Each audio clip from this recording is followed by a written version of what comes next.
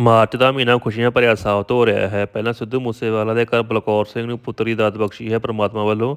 ਹੁਣ ਪੰਜਾਬ ਦੇ ਮੁੱਖ ਮੰਤਰੀ ਭਗਵੰਤ ਮਾਨ ਦੇ ਘਰ ਵੀ ਧੀ ਦੀ ਦਾਤ ਬਖਸ਼ੀ ਹੈ ਪ੍ਰਮਾਤਮਾ ਵੱਲੋਂ। ਇਸ ਦੀ ਖੁਦ ਪੁਸ਼ਟੀ ਸੀਐਮ ਭਗਵੰਤ ਮਾਨ ਵੱਲੋਂ ਕੀਤੀ ਗਈ।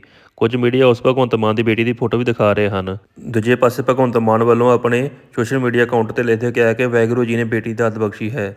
ਚਾਚਾ ਬੱਚਾ ਦੋਵੇਂ ਤੰਦਰੁਸਤ ਹਨ। ਬਾਕੀ ਦੋਸਤੋ ਗਿਲੇ ਸ਼ਿਕਵੇ ਦੂਰ ਰੱਖ ਕੇ ਆਪਾਂ ਨੂੰ ਪਰਿਵਾਰ ਨੂੰ ਵਧਾਈ ਦੇਣੀ ਚਾਹੀਦੀ ਹੈ।